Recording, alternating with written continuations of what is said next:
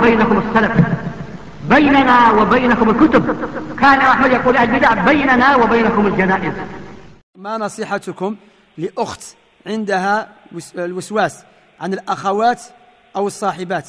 فما هي نصيحتكم لها؟ بارك الله فيكم. هذا الوسواس أنواع. هناك الوسواس القهري وهو مرض نفسي معروف له علاجه آه الإكلينيكي يعني له أدوية يعالج بها المريض وتعطى له يذهب إلى الطبيب النفسي يعالجه هذا الوسواس القهري. وأحيانا يأتي بصور عدة.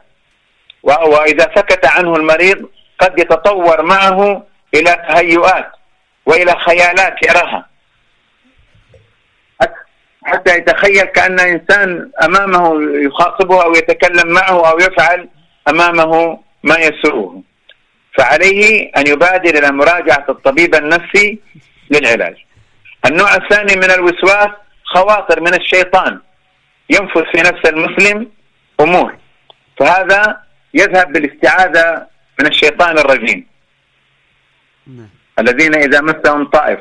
فهذا يستعيذ بالله عز وجل من الشيطان الرجيم. آه، يستعيذ بالله من الشيء آه، اللهم إني أعوذ بك من همزات الشياطين وأعوذ بك أن يحضرون. فيستعيذ بالله من الشيطان الرجيم. كلما نفذ الشيطان في روعه ظن السوء بإخوانه عليه أن يستعيذ بالله من ذلك. ويقول في نفسه هذا من الشيطان يريد أن يوقع بيني وبين إخواني العداوة. وقد أخبرنا الرسول صلى الله عليه وسلم عن عداوة الشيطان لنا وأنه يتسلط على الإنسان. فجاء في الحديث الذي أخرجه ابن حبان وغيره وهو حديث صحيح قال إن للملك لما في قلب ابن آدم وإن للشيطان لما في قلب ابن آدم وإن لمة الملك إعازا بالخير ودعوة إليه وإن لمة الشيطان إعازا بالشر ودعوة إليه. فالإنسان إذا وجد إعاز بالشر بأي صورة فيعلم أن هذا من الشيطان الرجيم عليه أن يستعيذ بالله منه ولا يتمادى معه ولا يحقق ما يريد.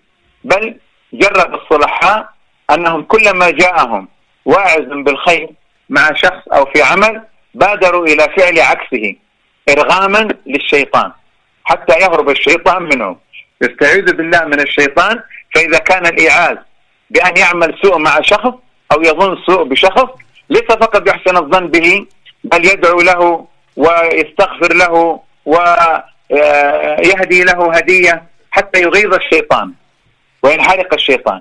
كلما جاءه الشيطان بداعية سوء بمقولة سوء بهم سوء على أخ من إخوانه أو أخت من أخواته من أخوات من أخواتها فإنه لا يكتفي فقط بأن يستعيذ من الشيطان الرجيم بل يدعو يدعو لهذا الأخ أو تدعو هي لهذه الأخت وإذا تمادى تعمل معها معروفا. تقدم لها هدية ويقدم لها له هدية ويعمل معه خير ويساعده بل يذكره بخير و آه، يعني آه، يعني يحرق الشيطان في وسوسته السيئة على أخيه أو على أخت على أختها المسلمة. فهذه من الأمور التي يفعلها الصلحاء في معالجة مثل هذا الوسواس. النوع الثالث من الوسواس خواطر.